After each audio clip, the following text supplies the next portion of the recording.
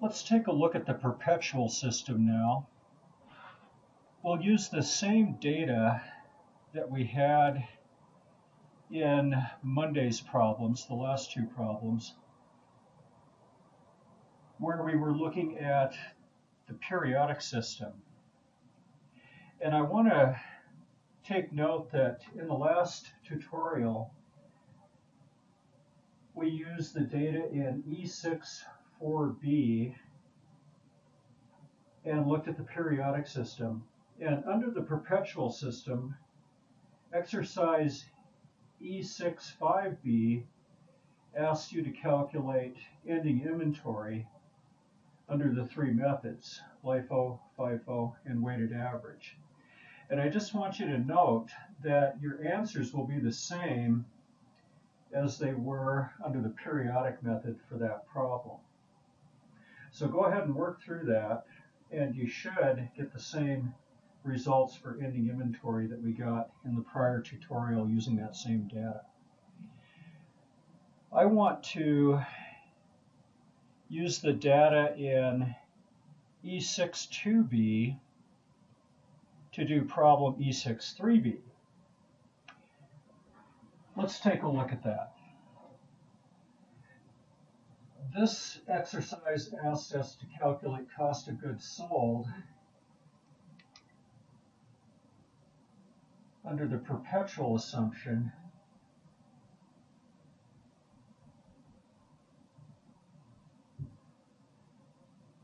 and it asks us to do that using FIFO, first in, first out, LIFO and weighted average. So let's do FIFO first. Cost of goods sold. We still have sold 180 units. Now, under the perpetual system, remember, we are adjusting cost of goods sold and inventory all the time. So we have to watch our dates we have to make sure that we're not trying to sell stuff that we don't already have yet. This sale occurred on May 16th. So we're limited to selling out of these two layers because the layer in, on May 24th wasn't even there. We hadn't bought it yet. So there's no way we can sell out of that layer. So with that in mind, let's make our calculations. First in, first out. So we're selling the older layers first. We were the first in, and we are looking for 180 units. The first layer has 150 units. I'm going to keep track of my dates here too. So that was my May 1st layer. 150 times $30, those were $30 units, that's $4,500 in that layer. And we need another 30 units out of our May 12th layer, and those are $35 units. so that's a thousand and fifty.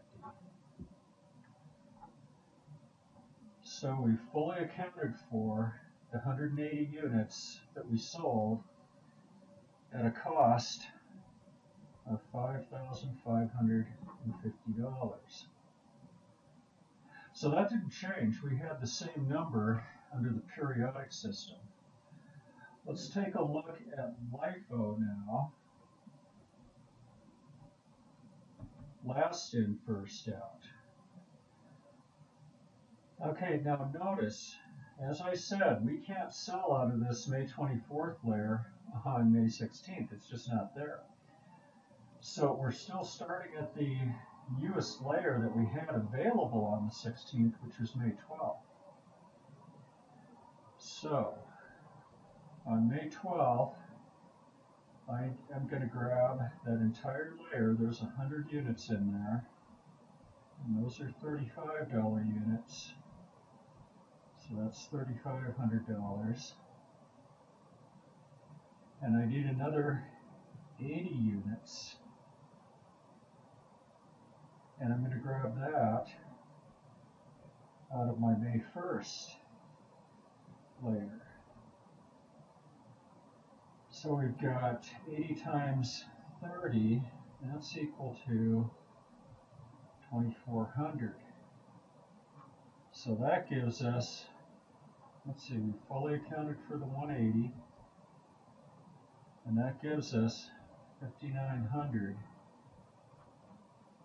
for cost of goods sold under LIFO. So that's different than what we had under the perpetual method. So you have to take care of these layers. You have to be very careful about those layers. Weighted average, a little bit different here too. Okay, weighted average,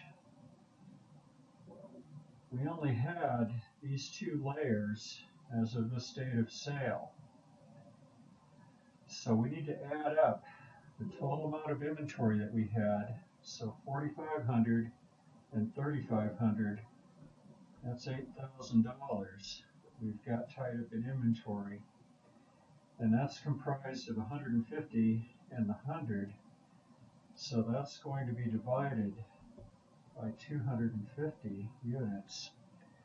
And that gives us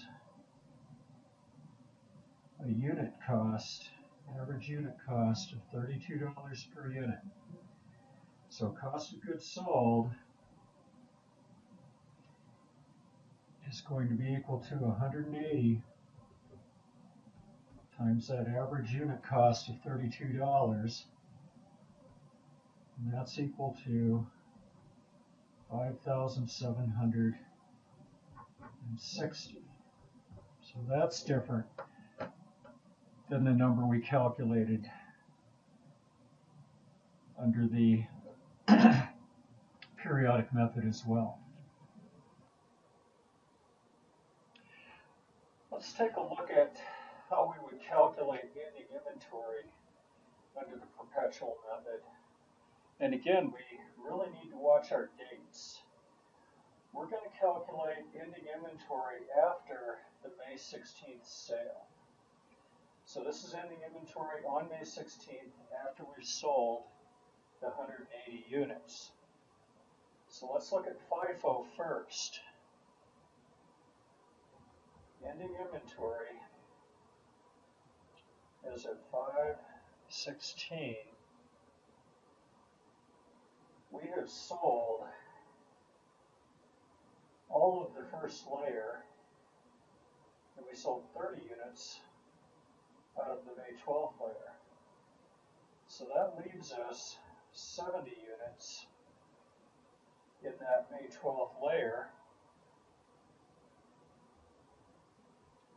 And those are $35 units. So that gives us an ending inventory value of 2450 and that's after that May 16th sale. Notice that on May 12th, we had $8,000 of inventory. And also notice that if we add together cost of goods sold and ending inventory, that fully accounts for the 8,000 units that we had. Let's take a look at LIFO. Under LIFO, we sold our entire 100 units out of the May 12th layer and 80 units out of the May 1st beginning inventory layer. So that's going to leave us 70 units in that May 1st layer. And those are $30 units. So our ending inventory after that sale on 516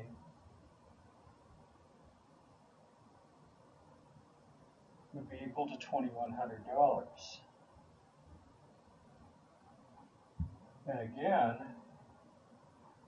if I add together cost of goods sold and ending inventory, and fully accounted for that 8,000 that I had on hand.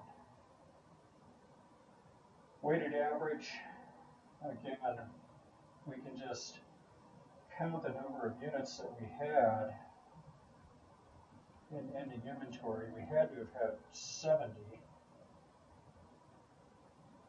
on 516. So if we multiply that by our average cost of $32, we wind up with 2240. And those two numbers also reconcile the 8,000. So be careful with your timelines. That's why I've laid these problems out in this manner so you can watch those timelines and keep track of where you are on the timelines and keep track of when you purchase stuff because remember you can't sell stuff that's not there.